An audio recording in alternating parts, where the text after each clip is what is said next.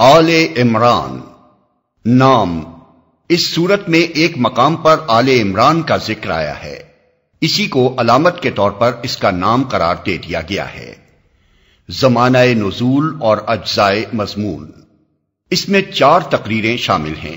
पहली तकरीर आगाज़ सूरत से चौथे रुकू की इब्तदाई दो आयतों तक है। और वो गालिबन जंग बद्र के बाद करीबी जमाने ही में नाजिल हुई है। दूसरी तकरीर आयत, अल्लाह ने आदम और नू और आले इब्राहिम और आले इमरान को तमाम दुनिया वालों पर तरजीह देकर अपनी रिसालत के काम के लिए मुंतखब किया था, से शुरू होती है और छठे रुकू के अख्ताम पर खत्म होती है। ये नौ हिजरी में वफद नजरान की आमद के मौके पर नाजिल हुई। तीसरी तकरीर सातवें रुकू के आगाज़ से लेकर बारहवें रुकू के अख्ताम तक चलती है और इसका जमाना पहली तकरीर से मुतसिल ही मालूम होता है।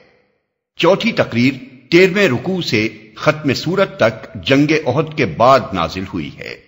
खिताब और मबाहिस। इन मुख्तलिफ़ तकरीरों को मिलाकर जो चीज़ एक मुसलसल मजमून बनाती है, वो मकसद मुद्दुआ और मरकजी मजमून की यकसानियत है। सूरत का खिताब खसूसियत के साथ दो ग्रोहों की तरफ़ है। एक अहले किताब, यानी यहूद नसारा, दूसरे वो लोग जो मोहम्मद सल्लल्लाहु अलैहि वसल्लम पर ईमान लाए थे। पहले ग्रोह को उसी तर्ज पर मजीद तबलीग की गई है, जिसका सिलसिला सूरह बकरा में शुरू किया गया था। उनकी एतकादी गुमराहियों और अखलाकी खराबियों पर तंबी करते हुए उन्हें बताया गया है कि ये रसूल और ये कुरान उसी दीन की तरफ़ बुला रहा है जिसकी दावत शुरू से तमाम अंबिया देते चले आए हैं और जो फितरतुल्लाह के मुताबिक एक ही दीन हक है। इस दीन के सीधे रस्ते से हटकर जो राहें तुमने इख्तियार की हैं, वो खुद उन किताबों की रूह से भी सही नहीं है, जिनको तुम कुतुब आसमानी तस्लीम करते हो। लिहाजा इस सदाकत को कबूल करो, जिसके सदाकत होने से तुम खुद भी इनकार नहीं कर सकते। दूसरे ग्रोह को जो अब बेहतरीन उम्मत होने की हैसियत से हक का अलमबरदार और दुनिया की इसलाह का जिम्मेदार बनाया जा चुका है, उसी सिलसिले में मजीद हिदायत दी गई हैं, जो सूरह बकरा में शुरू हुआ था। उन्हें पिछली उम्मतों के मजहबी और अखलाकी जवाल का इबरतनाक नक्शा दिखाकर मुतनबे किया गया है कि उनके नक्शे कदम पर चलने से बचें। उन्हें बताया गया है कि एक मुसलह जमात होने की हैसियत से वो किस तरह काम करें और उन अहले किताब और मुनाफिक मुसलमानों के साथ क्या मामला करें जो खुदा के रास्ते में तरह तरह से रुकावटें डाल रहे थे। उन्हें अपनी उन कमजोरियों की इसलाह पर भी मुतवजह किया गया है जिनका जहूर जंग अहद के सिलसिले में हुआ था। इस तरह यह सूरत न सिर्फ़ आप अपने मुख्तलिफ़ अज्जा में मुसलसल मरबूत है बल्कि सूरह बकरा के साथ भी इसका ऐसा करीबी ताल्लुक नज़र आता है कि यह बिल्कुल उसका ततम्मा मालूम होती है और यह महसूस होता है कि इसका फितरी मकाम बकरा से मुतसल ही है। शान नजूल। सूरत का तारीखी पस मंजर यह है। एक, सूरह बकरा में इस दीन हक पर ईमान लाने वालों को जिन आजमाइशों और मसाइब मुश्किल से कबल वक्त मुतनबे कर दिया गया था वो पूरी शिद्दत के साथ पेश आ चुकी थी। जंग बदर में अगरचे अहले ईमान को फतह हासिल हुई थी, लेकिन ये जंग गोया भिड़ों के छत्ते में पत्थर मारने के हम मानी थी। इस अव्वलीन मुसल्ला मुकाबले ने अरब की उन सब ताकतों को चौंका दिया था, जो इस नई तहरीक से अदावत रखती थी। हर तरफ़ तूफ़ान के आसार नुमाया हो रहे थे। मुसलमानों पर एक दायमी खौफ और बेतमीनानी की हालत तारी थी, और ऐसा महसूस होता था कि मदीने की ये छोटी सी बस्ती, जिसने गिरदोपेश की सारी दुनिया से लड़ाई मोल ले ली है सफ़ाई हस्ती से मिटा डाली जाएगी। इन हालात का मदीने की मुआशी हालत पर भी नहायत बुरा असर पड़ रहा था। अव्वल तो एक छोटे से कस्बे में, जिसकी आबादी चंद सौ घरों से ज़्यादा न थी, यकायक मुहाजरीन की एक बड़ी तादाद के आ जाने ही से मुआशी तवाजुन बिगड़ चुका था। इस पर मजीद मुसीबत इस हालत जंग की वजह से नाजिल हो गई।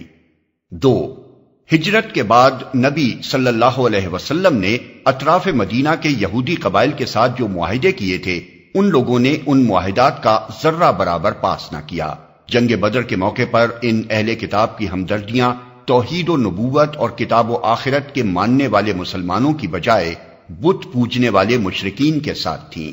बदर के बाद ये लोग खुल्लम खुल्ला कुरैश और दूसरे कबाइल अरब को मुसलमानों के खिलाफ जोश दिला दिलाकर बदला लेने पर उकसाने लगे।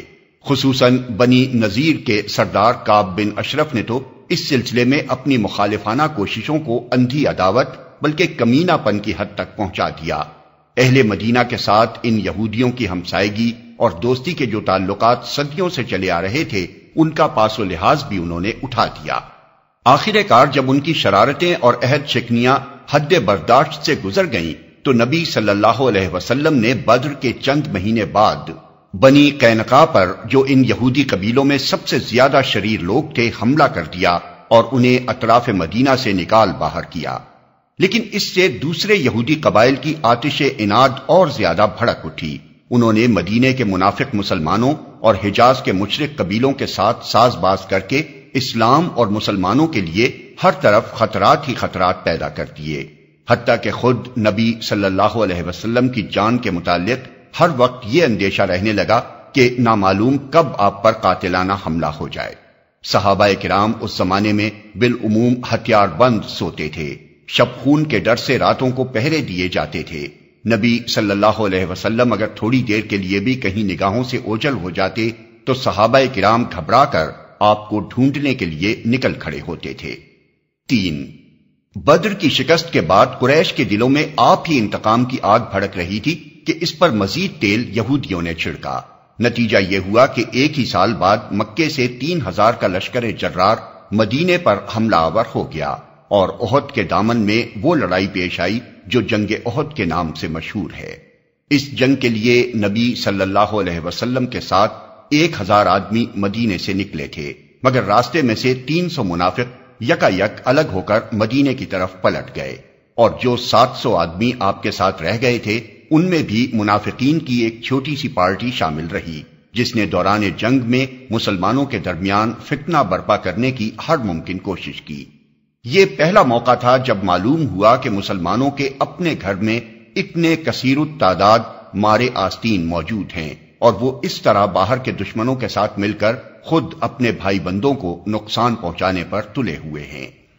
चार, जंग अहद में मुसलमानों को जो शिकस्त हुई, उसमें अगरचे मुनाफिकीन की तदबीरों का एक बड़ा हिस्सा था, लेकिन इसके साथ मुसलमानों की अपनी कमजोरियों का हिस्सा भी कुछ कम न था। और ये एक कुदरती बात थी कि एक खास तर्ज फ़िक्र और निज़ाम अखलाक पर जो जमात अभी ताज़ा ताज़ा ही बनी थी जिसकी अखलाकी तरबियत अभी मुकम्मल ना हो सकी थी और जिसे अपने अकीदा व मसलक की हिमायत में लड़ने का ये दूसरा ही मौका पेश आया था, उसके काम में बाज कमजोरियों का जहूर भी होता। इसलिए ये ज़रूरत पेश आई कि जंग के बाद इस जंग की पूरी सरगुजिश्त पर एक मुफसल तबसरा किया जाए और इसमें इस्लामी नुक़ नज़र से जो कमजोरियाँ मुसलमानों के अंदर पाई गई थी, उनमें से एक एक की निशानदेही करके इसकी इसलाह के मुतालिक हिदायत दी जाए। इस सिलसिले में यह बात नज़र में रखने के लायक है कि इस जंग पर कुरान का तबसरा उन तबसरों से कितना मुख्तलिफ़ है जो दुनियावी जर्नल अपनी लड़ाइयों के बाद किया करते हैं। समाओ बसर ने मौलाना सैयद अबुल आला मौदूदी रहमतुल्लाह अलैह की मशहूर तफसीर तफीमुल कुरान की छह जिल्दों को छह audio CD, M P three की शक्ल में तैयार किया है।